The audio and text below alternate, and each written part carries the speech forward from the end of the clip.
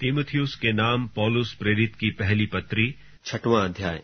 जितने दास जुए के नीचे हैं, वे अपने अपने स्वामी को बड़े आदर के योग्य जाने, ताकि परमेश्वर के नाम और उपदेश की निंदा न हो। और जिनके स्वामी विश्वासी हैं, इन्हें वे भाई होने के कारण तुच्छ न जाने वरन उनकी और भी सेवा करें, क्योंकि इससे लाभ उठाने वाले विश्वासी और प्रेमी हैं। इन बातों का उपदेश किया कर और समझाता रहे।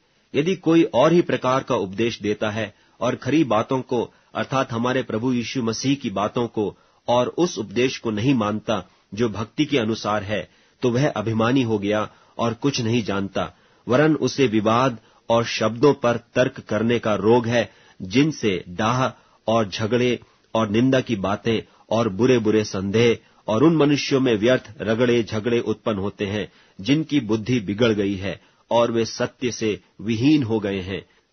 जो समझते हैं कि भक्ति कमाई का द्वार है, पर संतोष सहित भक्ति बड़ी कमाई है, क्योंकि न हम जगत में कुछ लाए हैं और न कुछ ले जा सकते हैं।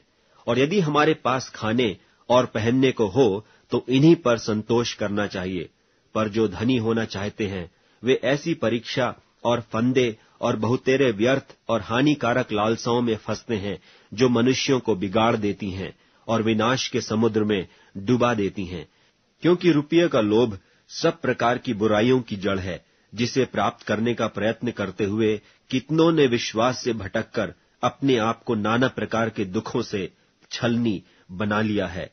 पर हे परमेश्वर के जन, तू इन बातों से भाग और धर्म, भक्ति, विश्वास, प्रेम धीरज और नम्रता का पीछा कर, विश्वास की अच्छी कुश्ती लड़ और उस अनंत जीवन को धर ले, जिसके लिए तू बुलाया गया और बहुत गवाहों के सामने अच्छा अंगीकार किया था। मैं तुझे परमेश्वर को, जो सबको जीवित रखता है, और मसीह ईशु को गवाह करके, जिसने पुंतियुस पिलातुस के सामने अच्छा अंगीकार किया, यह आज्ञा देता हूँ कि तू हमारे प्रभु यीशु मसीह के प्रकट होने तक इस आज्ञा को निष्कलंक और निर्दोष रख, जिसे वह ठीक समयों में दिखाएगा, जो परम धन्य और अद्वैत अधिपति और राजाओं का राजा और प्रभुओं का प्रभु है।